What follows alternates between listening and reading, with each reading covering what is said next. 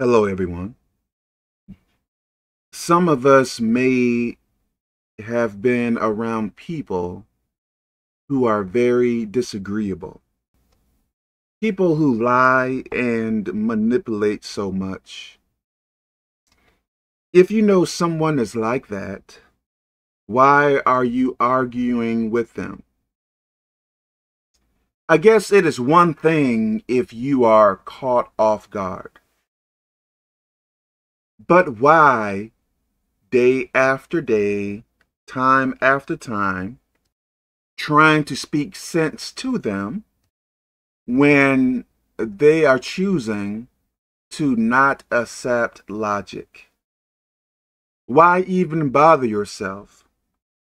If there is something you want to do, even if it is against the wishes of the troubled person, do it as long as you are not sinning. Please think about it. Let's say I am that way. A big liar, manipulator, whatever else. You are trying to speak sense to me. Everything you are saying, I am telling you no, uh, the sky is red. Every dog is pink. I never do anything wrong. I am always the victim. You know, stuff like that. If you already know I am not going to take logic, I am not going to take common sense, why even waste your time trying to explain things to me. You may say to me, well, Kevin, I think I should explain things to that bad person because maybe um, that person will change. Don't you know there are some people who know the truth? They know the truth. They know they are doing the wrong thing. But they want to just mainly to do their own way. Did you listen to me? If someone wants to go their own way, even though they know their way is very bad and against you, choose to go the other way if you have to. Some people are smarter than what you think. Some people are like predators.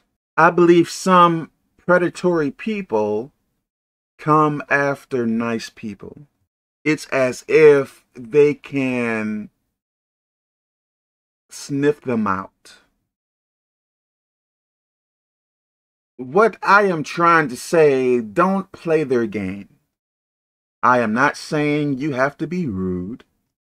I am not saying you have to approach them and, and tell them, I know you are playing a game. I know you are lying. I know you are manipulating, blah, blah, blah, blah, blah. If you know someone is playing around, don't play their game. There is someone I know and someone was trying to play a game with that person, the person I know kind of stopped engaging in that other person's game. Don't you know some people do bad things to get a reaction out of you? Did you know that?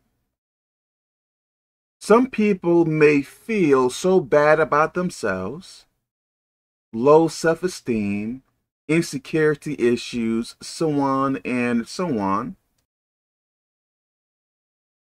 They may see you stable. They may see you happy. The way you feel, they may want to feel that way. So, since they can't feel that way, they want you which which I believe, I believe all of this. I believe they want you to be miserable like them. As some people say, misery loves company. If I am saying that right. So they may want you to be like them. So they may do things that they know will make you angry or do things to make you angry. So you can begin yelling. So you can begin cussing and acting out of character. Haven't you seen some people smile when they have made you angry? Don't you find that kind of strange around friends and stuff like that, I can understand, you know, people will tease you and stuff like that. I am not speaking about that. I am speaking of like uh, people who may like making you angry for bad reasons. Some people may believe if they can make you very emotional, they can control you if if I control the way when you are happy, when you are sad, like in a very bad sense, that is power. You are giving power to me. There are also, I believe, some insecure people out there. They may need a lot of emotional support.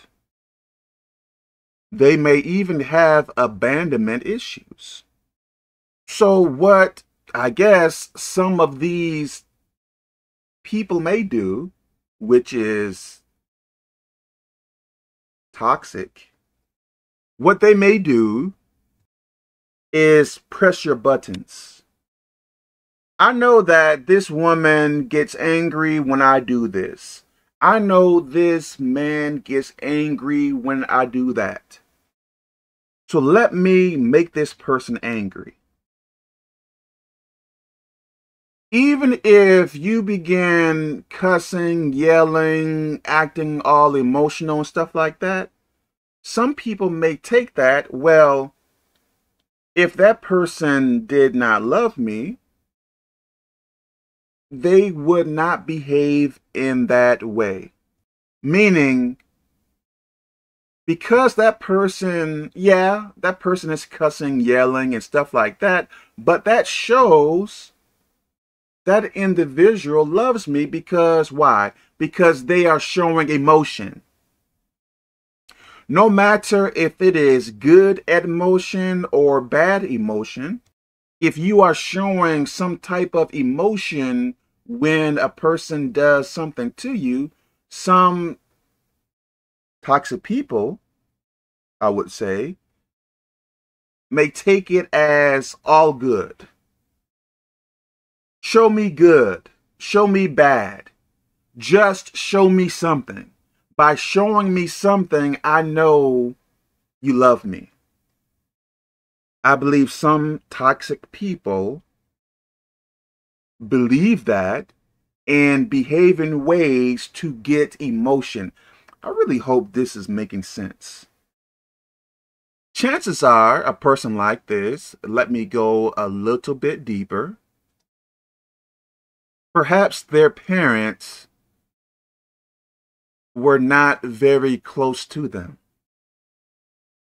Maybe they would, um, how can I say this? maybe they would be very active then unactive in their lives. Showing emotional support for a while, then cut it off. Then for a while, then cut it off. So, this on and off emotional support type of thing. Let me show you love one day, then not really show you anything. Let me show you some anger one day, then not show you anything. So this I don't know really what word to use for that, but this on and off thing. As children, we need constant love. Like, we need someone there. We need someone to take care of our needs. Like, we don't need someone to love us, then push us away, then love us and push us away, um, insult us, then ignore us. And we need constant love. We need, as children and adults too, we need emotional support. So if you did not get that when you were younger, how do you believe you are going to behave?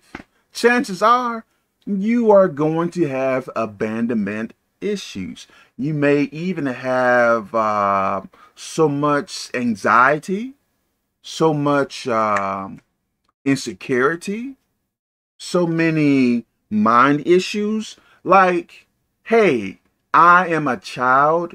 You are my parent you should be taking care of me. You should be teaching me. You should be there for me. You should be loving me. So when your parent don't really do those things, chances are you will learn bad things in a sense. Are you listening to what I am saying to you? So it may not be your fault for being the way you are, but you have to change the way you are, if that makes any sense. Or should I say, it may have not been your fault how you were raised as a child. Yes, let me say that. But you have to change the way you are. You can't stay the same way because you have had or have very bad parents. Yes, your dad may have not been very loving.